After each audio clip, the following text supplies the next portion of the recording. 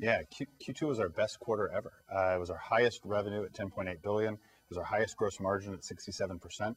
We generated $4 billion of operating profit and 51 cents of earnings per share. All, all of those are, are records for us. When we look at what really drove those kinds of financial results, it's really three things. The strength of our product portfolio is arguably the best in our history.